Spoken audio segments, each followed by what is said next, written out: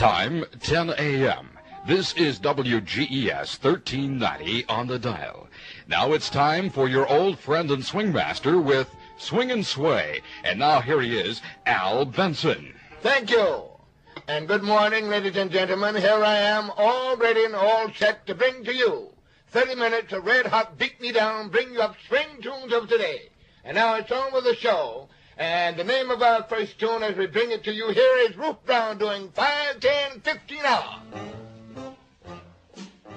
In the heyday of Chicago blues, no one had more to say about which records became hits in the Windy City's huge African American population than the powerful disc jockey, promoter, and music entrepreneur Al Benson.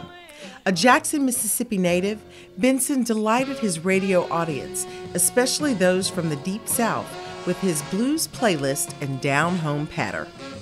While some question his business tactics, Benson was widely regarded by fans and musicians alike. At one point, Benson's empire included a television show, record shops, a nightclub, concert promotion, and record labels, giving he and his family a stronghold on the black music industry in Chicago.